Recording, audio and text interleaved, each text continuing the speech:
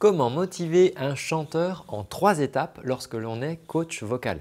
Si tu es enseignant de la voix, professeur de chant, coach vocal, je vais te donner une méthode pour euh, faciliter la motivation de tes élèves. Salut, moi c'est Antoine, je suis coach vocal professionnel. Je forme des coachs vocaux au sein de la Vocal Coach Factory et toutes les semaines je partage sur cette chaîne YouTube des conseils sur la voix. Alors je voudrais te parler d'une problématique que j'ai pu rencontrer et que j'appelle le syndrome du prof sympa.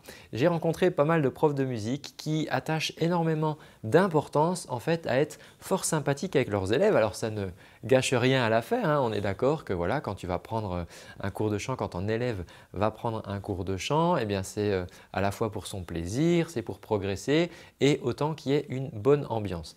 Par contre, si euh, l'enseignant a vraiment toujours euh, cette, quasiment obstination à être le prof sympa, eh bien en réalité ça ne va pas forcément rendre service à l'élève et notamment au niveau de sa motivation.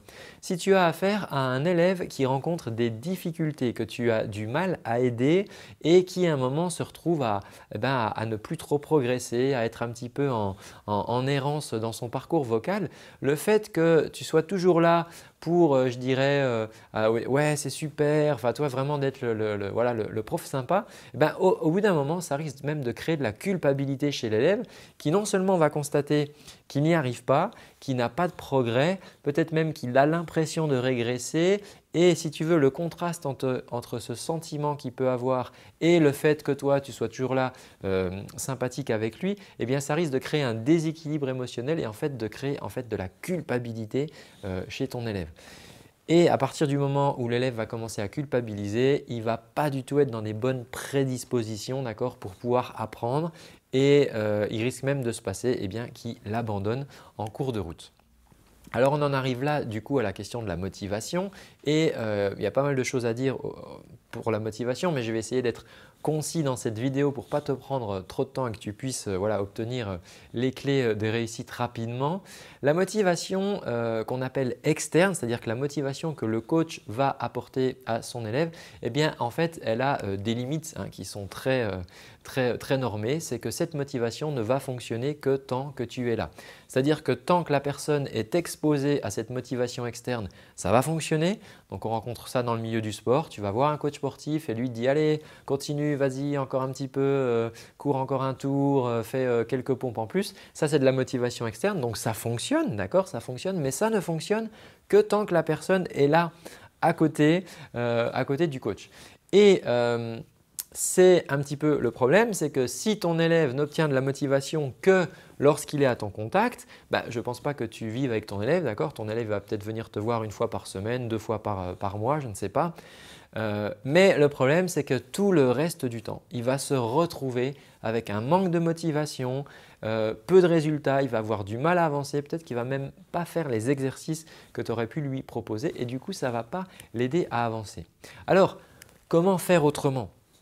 Comment faire autrement euh, et, je voudrais te prendre en fait en exemple. Euh, imagine en fait un sujet sur lequel tu as eu du mal à avancer au départ et puis euh, après au bout d'un moment tu, as vu que ça fonctionnait. Alors ça peut être peut-être tiens lorsque tu as passé ton, permis de conduire. Au début tu n'étais peut-être pas très, assuré, pas très sûr de toi et bon tu, envisageais peut-être les cours de conduite avec appréhension. Et ce qui s'est passé probablement, c'est qu'au fur et à mesure des cours de conduite et puis surtout ben, après, en fait, au fur et à mesure où tu as réussi à faire les choses, réussir à te rendre euh, à l'endroit où tu voulais aller avec ta voiture sans avoir euh, d'accident ou d'anicroche. Et en fait, ce truc-là, eh bien, ça a créé de la de la confiance en toi, d'accord? Et cette confiance en toi, bah, c'est forcément une source de motivation parce que quand on envisage de faire une action dont on sait qu'on peut la faire avec confiance, bah, c'est beaucoup plus facile d'être motivé pour faire cette action. Et ça va être justement le premier point que je veux te donner, la première étape, c'est qu'il faut que tu crées des preuves de motivation pour ton élève. Qu'est-ce que je veux dire à travers ça? Je veux dire que il faut que tu t'attardes à lui donner des résultats constants. Il faut qu'il y ait des résultats à chaque fois chaque séance de cours, même si euh, le résultat est petit, il faut que tu crées un résultat. Moi, c'est ce que j'enseigne dans la Vocal Coach Factory quand je forme les coachs vocaux de demain. Je leur dis voilà, à chaque séance, même si la séance elle dure que 45 minutes, on veut qu'il y ait un nouveau résultat, c'est-à-dire une nouvelle chose que la personne ne savait pas faire avant de venir te voir et qu'elle va savoir faire grâce à ton coaching. Donc ça demande d'avoir une certaine méthodologie, d'avoir euh, des processus pour ça. C'est ce que j'enseigne encore une fois dans, dans, mon école, mais ce que je voudrais que tu retiennes, c'est que attache-toi à créer du résultat. Et en fait, qu'est-ce qui va se passer?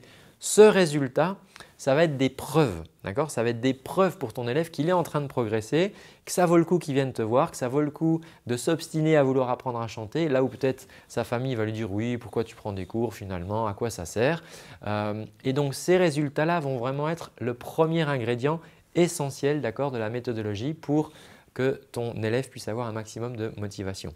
La deuxième chose que tu vas devoir faire, c'est l'aider à voir les progrès. Parce que c'est assez facile pour un élève de passer à côté des progrès qu'il fait, tout simplement parce qu'il n'a pas l'oreille, il n'a pas ton niveau de sensibilité, il ne voit pas les choses et peut-être même qu'il se conditionne en fait dans, euh, dans du blocage, dans de la stagnation. Alors que euh, typiquement, tu vois, euh, je fais des gammes avec un élève, on travaille, il coince sur une note aiguë et puis euh, voilà, dans sa chanson, quand il chante la, note, ça coince, ça bloque, c'est pas très joli, voire même il n'arrive pas à la faire. Et il termine le cours en disant « Ah, ben, je progresse pas, j'y arrive pas ». Et c'est là où moi je vais lui noter que « Attends, cette note-là, tu n'avais jamais réussi à la chanter, chanter jusqu'à présent, d'accord? Mais maintenant, on a fait des vocalises et en réalité, dans les vocalises, tu as réussi à chanter plus aigu, des notes plus aiguës que cette note. Alors oui, ok, aujourd'hui, elle est encore euh, pas euh, suffisamment jolie à ton goût, mais aujourd'hui, tu arrives à chanter cette note alors que rappelle-toi, il y a deux séances de cela, tu n'arrivais pas du tout parce que tu coinçais peut-être au Do alors que là, tu arrives à chanter le Mi. D'accord? Et là, je vais zoomer en fait et je vais aider mon élève à voir les progrès qu'il réalise. Et ça, vraiment, je t'invite à faire ça si tu es coach vocal ou enseignant de la voix. Montre aide tes élèves à voir toutes les zones sur lesquelles ils progressent cours après cours. La troisième chose, euh, et c'est la troisième et dernière étape euh, pour créer de la motivation chez ton élève, euh, ça va être de le bousculer un petit peu. Qu'est-ce que je veux dire par là? L'idée, si tu veux, c'est que ce ne soit pas forcément un long fleuve tranquille. Tu es là pour challenger ton élève, tu es tu es là pour être le pas juste avant. Et en fait, l'idée, ça va être de vraiment tracer un chemin pour ton élève qui soit juste assez difficile pour qu'il progresse et qu'il ne se décourage pas, d'accord Et qui soit assez facile d'accès pour qu'il puisse avancer, d'accord Donc retiens bien cette phrase, trace, trace un chemin pour ton élève, juste assez difficile pour qu'il soit dans sa zone de progrès, mais juste assez facile pour qu'il ait le courage d'avancer, d'accord Et ça, ça va vraiment l'aider. Si tu restes dans le statu quo, si tu restes le prof sympa, qui bouscule pas son élève, qui le challenge pas, qui est juste là pour, euh, pour être, euh, lui faire passer un bon moment, ça ne va pas faire avancer ton élève et ton élève ne va pas être motivé. D'accord? C'est vraiment important que tu retiennes ça. J'espère que tu as apprécié ces trois clés de, de coaching. D'ailleurs, si c'est des choses qui t'intéressent, dis-le moi en commentaire et je te publierai plus de vidéos à cet effet. Donc en conclusion, ça ne sert à rien d'être un prof sympa, tu l'as compris, c'est une condition qui peut être intéressante, mais ça ne va pas être suffisant pour que ton élève puisse progresser. Ton élève n'achète pas ta sympathie, d'accord? Il n'est pas juste là pour passer un bon moment avec un, pote, ce n'est pas la question. Et donc, aide ton élève à se responsabiliser en utilisant les trois clés que je t'ai euh, présentées. Et ça, du coup, eh ben, ça va vraiment l'aider à avancer. Alors tu l'as compris, je suis formateur au sein de la Vocal Coach Factory que j'ai fondée. Je forme les coachs vocaux de demain. Il y a aussi des profs de chant qui viennent se perfectionner dans cette école. Si c'est quelque chose qui t'intéresse, tu trouveras à la fin de cette vidéo ou dans le lien dans la description eh bien, euh, toutes les ressources, documentation et informations sur cette école. Donc il te suffit de cliquer sur le lien, de laisser une adresse mail et tu recevras toutes les informations chez toi pour analyser tout ça. N'hésite pas si c'est quelque chose qui t'intéresse et moi je te donne rendez-vous dans une prochaine vidéo. Ciao